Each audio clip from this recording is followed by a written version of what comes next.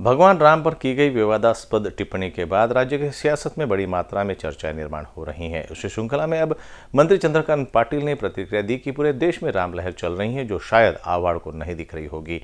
लोग बाईस जनवरी की दिवाली जैसी तैयारियाँ कर रहे हैं। इसी बीच जितेंद्र आवाड़ की ऐसी प्रतिक्रिया यकीन गलत है। मला वाटतं आता ह्या विषयावर खूप देशभर महाराष्ट्रात देशभर आंदोलनं चालू आहेत. आणि बहुधा बहुधा माहीत नाही मला पण जितेंद्र आव्हाडांनी पण त्याच्यामध्ये बहुधा दुःख व्यक्त माहीत नाही मला ते पुन्हा म्हणतो की म्हणजे दिलगिरी व्यक्त केली. पण त्यांनी अशा प्रकारे लोकांच्या भावना दुखावण्याचं काही कारण नाही.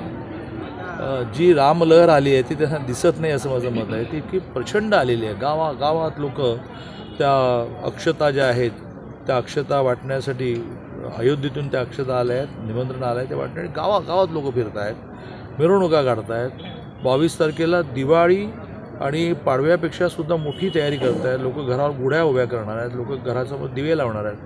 अशा वेळेला हे म्हणण्यातून त्यांना काय बेनिफिट मिळणार आहे मला माहीत नाही. पण अत्यंत चुकीचं वाक्य आहे आणि त्याचा निषेध संपूर्ण देशभर चालला आहे काहीच चुकीचं नाही. कुठल्याही पक्षाला आपली ताकद वाढवण्याचं स्वातंत्र्य आहे. भारतीय जनता पार्टी तर think in advance and think in detail पुरेसा आधी विचार करा आणि पुरेसा विस्तृत विचार करा. या कार्यपद्धतीची आहे आणि त्यामुळेच एकदा दोन जागा मिळाल्या त्या सोडलं.